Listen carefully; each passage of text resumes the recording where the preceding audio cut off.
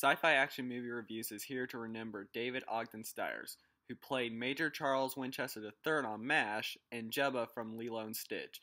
You had great acting, and no one will ever forget you. Rest in peace.